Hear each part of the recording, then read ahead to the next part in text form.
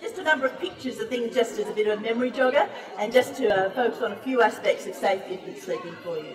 Uh, we are located on uh, stand G34, so if you have any other questions, feel free to come and talk to us. Uh, we always like to acknowledge the traditional owners of the land and we're meeting. Okay. Every year, tens of thousands of children are hospitalised due to injury and poisoning. Over half of these injuries occur at home. Injuries can be easily prevented. Use correct child restraints and bike helmets. Supervise children in the backyard and at playgrounds. Keep hot surfaces and poisons out of reach. Avoid using hot water near children and actively supervise around pools. Kidsafe. We are all about keeping kids safe. Find out more at kidsafe.com.au. So that's our 30 second uh, uh, community service announcement on our website. And it just shows you what we do at KidSafe. So we talk about home safety, playground safety, water safety, and very importantly, road safety. Uh, but today we're talking about uh, safe infant sleeping. We are located at Children's Hospital at Westmead, so if you're ever around, please drop in and see us. We have a demonstration safety house, which means you can just wander around and have a look at a whole lot of safety devices that are on the market and see what you might need to do in your, uh, in your home. Our aim is to make a safer world for kids, and uh, what we do is provide information to parents, grandparents, carers, so that you're prepared. And if you uh, know what to expect and what types of accidents children might suffer, then you can put things in place so that those accidents don't happen. So our aim is to try and avoid accidents in the home. Now, if we look at safe infant sleeping, we're going to look at safe positions, safe bedding, safe cots, safe place, safe room, so that ultimately your kids will be safe. So that's my sort of summary of how to, how to go about safe infant sleeping. Now it's really important that we um, make sure that you understand that we're not health professionals and we don't give personal advice or professional advice and that if you have any questions at all about your babies you need to go and talk to your family child health nurse or your doctor or go to the local hospital if necessary. Okay, so now we're looking at safe positions. And you'll see that um, we've got a child that's on their back to sleep, that their head and face is uncovered. They are, you can use sleeping bags or blankets, but you'll see that the blankets are set up in a certain way. So on the left there, you've got a child in a sleeping, uh, sleeping uh, outfit, uh, you can use one with legs or without. There's a number of those on the market.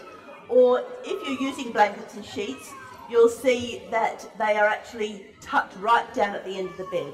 So it's, you know, it's what's called short sheeting. And the reason you do that is that if you've got a child wiggling, they can't wiggle very far, which means they won't wiggle under those blankets. So if you put a child up the top of a cot and you put all the blankets up the top, then babies do wiggle and they're going to wiggle underneath and you don't want their heads covered at all. The other reminder is that, um, and we'll mention dummies a few times, um, if a baby has a dummy to sleep, then the cord should only be 10 centimetres, so it's very short. The reason being that they can't get wrapped around their neck or, or around their fingers. Now, uh, we're, all, we're always concerned that when we have young parents watching or listening, that all we're doing is frightening you. And certainly we don't want to do that.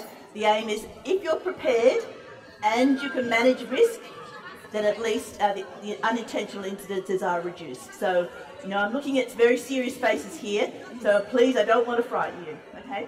We do have a home safety checklist on our stand, which is four pages long, and I say to people, it's to inform, not to frighten, okay? Now here's some more examples.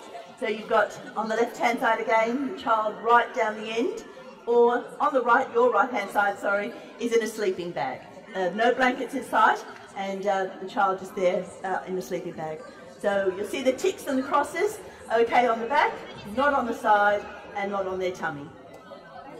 And this is all based on, you know, research from uh, doctors, clinicians. Uh, this is what they tell us is the best way to make sure that your child sleeps safely and comfortably. Uh, now this isn't a very good picture, but it gives you a couple more examples to watch out for uh, in terms of the mattress.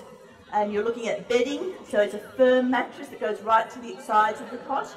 Again, the reason for that is so that, they don't slip down. So if this is your mattress, nothing's going to slip down here if it's firmly against the side of the cot.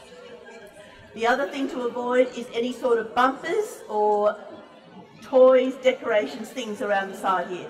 So anything that goes around the cot potentially can have a child get stuck inside or wedged inside. So it's just really important to keep that whole cot surface uh, clear of toys or any sort of extra bedding. Now the other thing you might hear, um, and we do depend a lot on the wisdom of our parents and our grandparents and our friends, and there is a lot of wisdom out there, and um, it's important to listen to what people say, but if you're not sure, always check with your health professional. So if you see a promotion of what's called positional devices, we would caution against those because it's another thing in the cot. So you just want the baby in the cot, minimal blankets and no other extra bits. So you might see some other extra bits that are promoted there. So just be very careful about using any of those because it does, again, introduce another thing that a child can get tangled in. Now we're looking at safe cots. Now there's a great website called Product Safety Australia and on that website you can look up nursery furniture and it will tell you a great, there's a great lot of information there about safety around furniture. It will also tell you if there's any bad furniture out there, or any bad toys or bad um, uh, strollers or anything like that. So sometimes uh, goods come in that don't meet the Australian standard and that will be on the Product Safety Australia website saying don't go there, don't buy those, or if you have them, take them back because they've been recalled because they are not safe. Um, there's a question mark on the one to your right, which um, looks like an antique type cot. If you have an antique cot, it needs to come with a certificate that says it has been checked for safety. So we all love hand-me-downs and we all value, you know, the cot that our grandmother was in, but in those days there were a few more, you know, uh, babies that didn't make it. So again, if it's not a safe cot, you have to sort of very, you know, uh, thank, thank the people that are offering it to you. Just explain that things have changed and that we need to be careful with what babies sleep in, and um, they should understand that. Uh, there are other types of cots, so there's the uh, portable cots. Again, you need to make sure there's a lot of airflow and uh, the mattresses, there's no additional mattresses in there, it's mattress as it's uh, purchased. If you look at the KidSafe website and the SIDS website, you'll see a lot of information about cots as well. All right. Now, just a reminder that um, the temptation when you're travelling uh, and when you go visiting is your baby might fall asleep in their baby capsule or their, their um, rearward-facing baby seat in the car.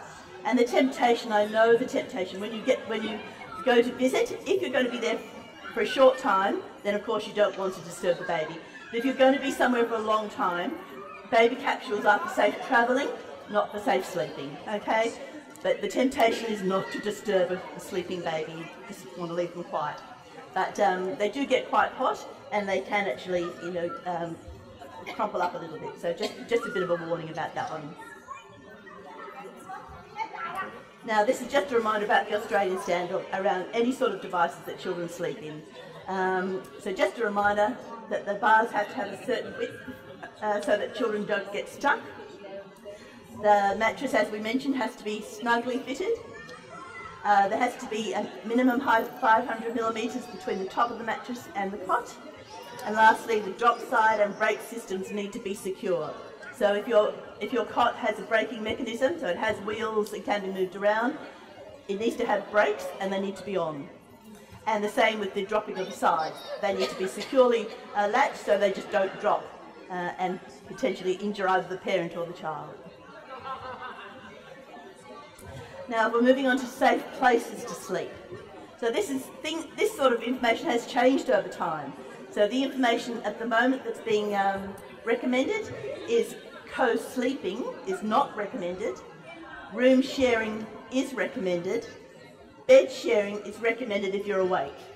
So again, things have changed, and this is um, you know something you need to discuss and need to uh, you know decide what suits your family. Um, but certainly uh, room sharing is now recommended, and if you've got a small baby, if they're nearby, in the nearby, then you can hear them and respond to them. And um, that's when they're little. That's what you need to do, just to be, you know, be able to hear what's happening with their breathing. So, sort of very conventional look, looking system there, but you know, um, you've got the baby short sheeted, so they're at the bottom of the cot, can't get away, uh, but in, you know, if it suits you, in the same room. If that doesn't suit you, of course, there are baby monitors and things that you can use. So, you know, each family is different and how you manage your situation is different, but the idea is to just be able to attend to the baby and listen uh, to any changes in their breathing. Okay, now we're talking about a safe room. Now that's a very clever child, and you want them to be strong, you want them to have great legs, good arms, but it's where they climb. So it's certainly not recommended that they climb on a cot by the window. So that could be a cot or any sort of, you're frowning, oh, horrifying. I'm trying to stay light-hearted here. um, so um, yes, it's frightening, it's a joke, um, but on the serious side, uh, you need to make sure that no nursery furniture is against a window because they can take the opportunity as they start to use their legs to investigate that window. The other problem there, I think, which is possibly on the next slide, is because that um, window also had a blind. And that, those cords on that blind, and that could be also any, any furnishings at all, window furnishings, if they're um, loopy and just hanging, then that potentially can get around a child's neck or around their arms or their toes. So any sort of loops need to be uh, wound up on the side of the window. Now Fair Trading um, has given us a number of um, what's called cleats or uh, hooks that you can use if you don't have them on your windows at the moment. So again, we've got some of those on our stand. Now, the other thing related to windows is to make sure that um, they only temporarily open to about 12 centimetres so that children don't get stuck and don't fall out. One of the other problems that you need to be aware of around windows and sleeping is that if you know if they wake up before you do and they go to the window, if it's open too far, then they can fall out. So the important thing is um, to remember that if you have a fly screen, the fly screen is not a barrier, it's only suitable for flies. It's not suitable for children if they start pushing on that. All right? So we do talk about limiting your window openings. Another precaution around safe infant sleeping is to make sure that children don't come in contact with cigarette smoke. So if they are around smoke, the risk to the baby certainly increases if the mother smokes. It doubles again if a family member smokes. It increases their uh, susceptibility to respiratory infection, therefore affecting you know, how they may sleep when they're at rest. And also it um, decreases their ability to, to wake themselves or their arousal. A couple of other things that uh, might happen during sleep time. One are the dummies. So dummies sold in Australia must meet the Australian standard, and that's actually a law. So they must meet the Australian standard.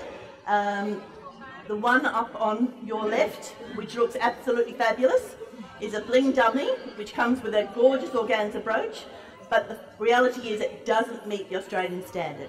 So there's little bits on there that can be swallowed or poked in eyes or nose or ears. So it looks spectacular but not safe.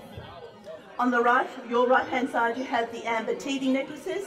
Now, they, we're not commenting on whether they work or not, but teething and distress of babies usually happens when they're resting or asleep. So you might be very tempted, because you want to ease their pain or their discomfort, to use those when they're resting or sleeping. But it's still jewellery, and you wouldn't put any necklace around a child uh, when they're resting or sleeping. The same sort of thing. The last one there on your right are the, the wheat bags or the heat bags.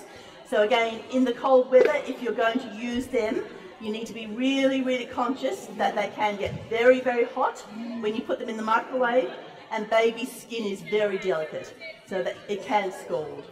Alright? Again, this is all the scary stuff, but you know, if you're aware of these sort of things and accidents that other people have experienced, then you're just one step ahead. Alright? Okay, now if you come to our stand on um, uh, G34, Uh, and if you are if you're happy to scan your, your ticket or your code, he'll give you a, a DVD free on the bottom left hand side, which is baby's first year.